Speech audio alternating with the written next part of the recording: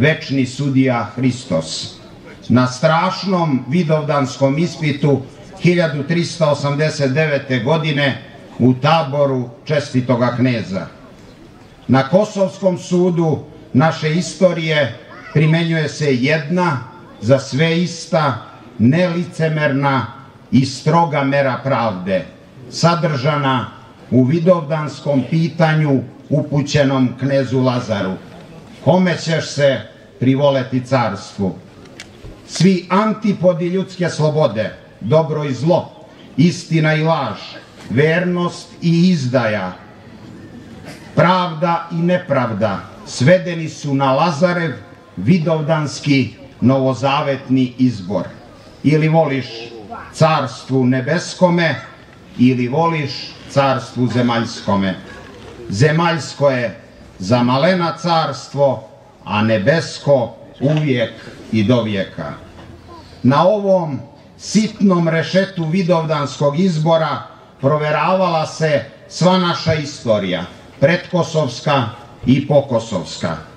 Sve ono što je bilo sveto i čestito i milome Bogu pristupačno, svako zlatno zrno u rodu Svetoga Save sabrano je u ambare nebeske Srbije, gdje ni moljac ni rđa ne kvari i gdje lopovi ne potkopavaju i ne kradu. Sav kukolj srpski, svi vukovi, vujice, vukani, ini od vuka rođeni i izvedeni, zauvek su izbačeni iz naše zavetne istorije. Ispisani su iz večne knjige našeg mučeničkog pravoslavnog roda. Od zlatnog zrna požnjevenog u Vidovdanskoj, kosovskoj žetvi, umešena je pogača od koje se tokom vekova turskog, austrijskog i mletačkog ropstva duhovno krepio srpski narod. Na svetom, mučeničkom kosovskom zrnu iznikla je Karađorđeva ustanička Srbija i ponovo rođena srpska državnost. Međutim, mnogo je bilo onih u našem rodu kojima je u godinama ropskih patnji, bola i poniženja duhovni hleb umešen od sveto kosovskog zrna bio isuviše skroman, težak i gorak za njihove zemaljske muke, apetite i želje. Pa im rečju pesnika poče demonski mesija lažne vjere pružat poslastice. Oni koji posle propasti slavnog i bogatog srpskog carstva nisu sačuvali carsku vjeru u srpskog rista, kako je govorio Matavuljev Pilipenda, već su je prodali za milost zemaljskih gospodara, za zemaljsko veselje iz Stambola i moć iz Rima, postajali su Skenderi, Mustafe, Josipi i Ante. Nije krstonosni svetolazarevski put odricanja od sveta bio tegoban pojedinim Srbima samo u ropstvu. Brojnija i prikrivenija, stoga i opakija, bila je otpadija od vere otaca i predačkog imena i obraza u slobodi plaćenoj sveštenom krvlju srpskih vojnika i oficira. Jugoslavija, to drugo ime za srpsku svenarodnu duhovnu otpadiju, kako prva, tako i druga, formirana je od strane anglosaksonaca samo sa jednim ciljem – da pod kulturnom dominacijom i uticajem Hrvata i Slovenaca pravoslavni Srbi odbace Hrista i napuste bizantsku civilizaciju te da se poklone zapadnoj materialističkoj potrošačkoj kulturi.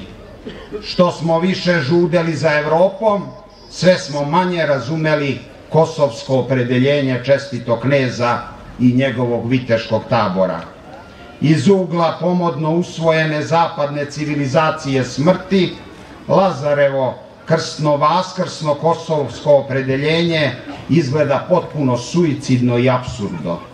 Stavljajući moć tehnike ispred trajnosti vrline, moderni Srbi sa ničeanskim nerazumevanjem posmatraju mučeničko-ispovedničke podvige svetog Đakona Avakuma i svetog Vukašina iz Klepaca Umesto samožrtvene vidovdanske etike, prigrli smo antietiku tržišta potrošačkog roblja, gde je sve na prodaju i na kupovinu.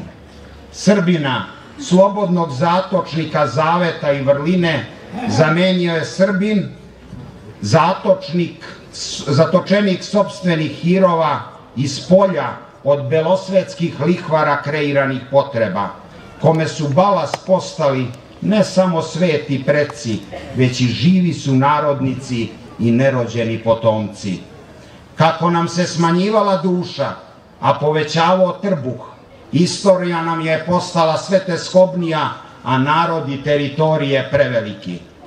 Gladnih očiju, a prazne glave, zatrovani zapadnim ideološkim izmima, sa pseudo-elitom koja se čita vek unazad zgražavala sobstvenog naroda, ali ne i njegovih para, plašili smo se od pomisli da nas Kosovo čeka u Kninu, Pakracu, Grahovu, Vukovaru. Nadali smo se da će naše pokolenje mimo ići kneževa čaša kosovskog opredeljenja. Verovali smo da se može biti i Hristov i svetski, pa smo zapadnom krstašu, ne bili ga odobrovoljili, ostavljali ono što nikad nije bilo njegovo, od Dalmacije i Like, preko Banije, Slavonije i Bosanske krajine. Prevarili smo se, pa sad čašu svetog kneza ispijamo na sve srpskom duhovnom ognjištu na Kosovu i Metohiji.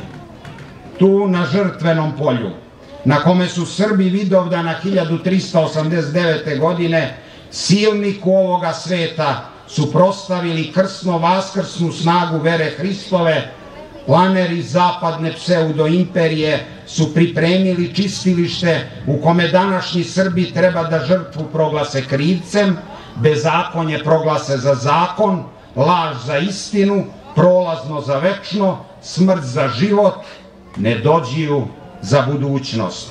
Jednom rečju da se odreknu Hrista i poklone zlatnom teletu zapada. Svaki je pravoslavni Srbin danas pozvan da bude Lazar i Obilić. Istovremeno trezven i mudar, i hrabar i odlučan, jer na Kosovskom sudu nema docnje izvinjavajućih razloga i apelacije. Skromnost porekla i čina nije bila smetnja Obiliću da prvenstvuje u mučeničkim herojstvom na Kosovskom sudu. Ni novim Obilićima neznatnost njihovog položaja ne sme da bude smetnja, jer se u borbi za odano zavetu uvek ulazilo po meri vere, a ne po meri moći, bogatstva i čina. Mera naše vere, od koje zavisi čvrstina i ozbiljnost našeg odgovora na Kosovskom sudu Božijom, određena je merom našeg pojedinačnog i sve nacionalnog pokajanja i preumljenja. Neka nam Gospod pomogne da makar i grešni, ali kajući se, ostanemo na putu svetog kneza Lazara i da se na našem kosovskom-metohijskom duhovnom ognjištu nikad ne ugasi plamen naše pravoslavne svetosavske vere i ne izbriše srpsko ime. Amin. Bože da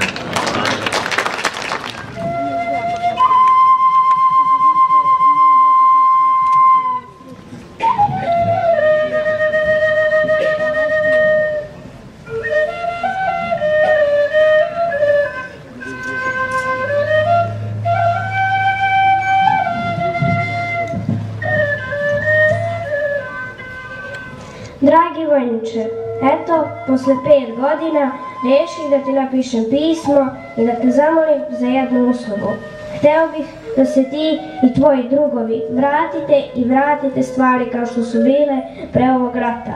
Iako i ja i moja okolina nismo ništa osetili, znamo da su u Ljipljanu i Obiliću i još mnogim drugim mestima gledali kako im ubijaju rodbinu. Oh, evo od zabrinutosti i želje da ti ovo kažem. Zaboravio sam da ti se predstavim. Ja sam Nikolčević Stefan. Živim u Štrpcu, male, varošici u podnožju Šar planine, na jugu Srbije, gde se nalazi moje selo. Idem u osnovnu školu, Staja Marković i učenik sam petog razreda. Mi živimo kao u zološkom vrtu, okolo rešetke, a unutra hrane i život. Živimo dan za danom, ne znajući šta će biti sutra. Kada treba da izađemo iz ovog kaveza, prate nas vozila kvora, koja svakom smetaju. Volao bih da umjesto njihove vojske dođete vi. Moji deda i baba su živjeli u Kosovu polju, a kada, tre, a kada bi mi išli kod njih, često bismo odlazili na obližnje jezero kod Gračanice. Sada je to nemoguće i na našem malom jezeru na Šari, jer se tamo uvek šetaju Albanci. Ali omladina skuplja hrabrost i da ide 1. augusta. Često nas roditelji ne puste da se poigramo na obližnjem brdu. Meni su se prosto smučili, Albanci i kvor, pa te zato molim da sa svojom malijom dođeš, ako je to i suviše teško, samo mi odgovori sa ne. Prije puno pozdrava od Stefana iz Štrpca. Stefan Nikolčević, peti razred.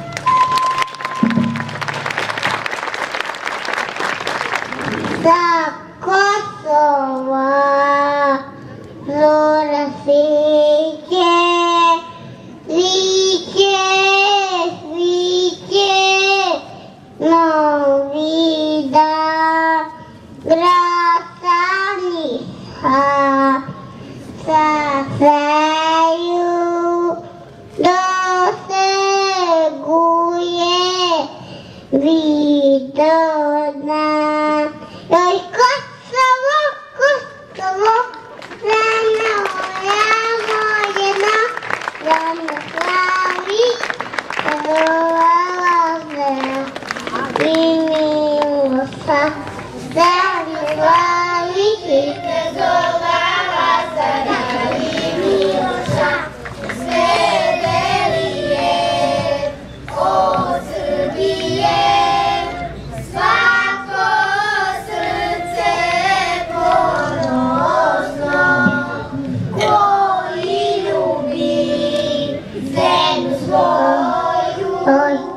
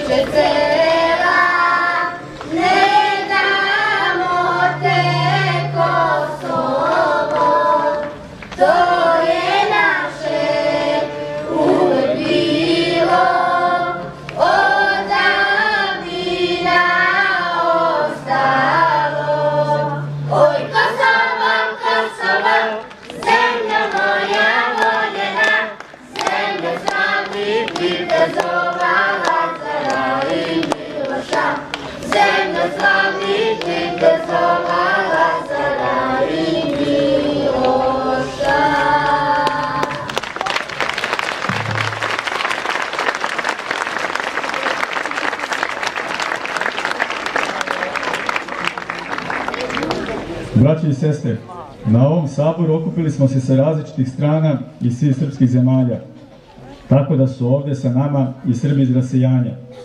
Red je da čujemo i njihov glas, da čujemo kakvu oni bitku vode za očuvanje vere i naše crkve. U ime crkve iz dijaspore obratit će vam se naš veliki nacionalni borac, glavni i odgovorni urednik srpskih novina koji se štampaju u Torontu, a u posljednje tri godine i u Srbiji, Srpkinje iz Kanade, koja je odmah stala u odbranu istine i vere, delovanjem svojim u rasejanju. Sada će vam se obratiti doktorka Desanka Krstić, žena junak, dobrotvor, koja svojim prisustvom ovdje danas potvrđuje da je sa nama i duhom i srcem. Časni ofi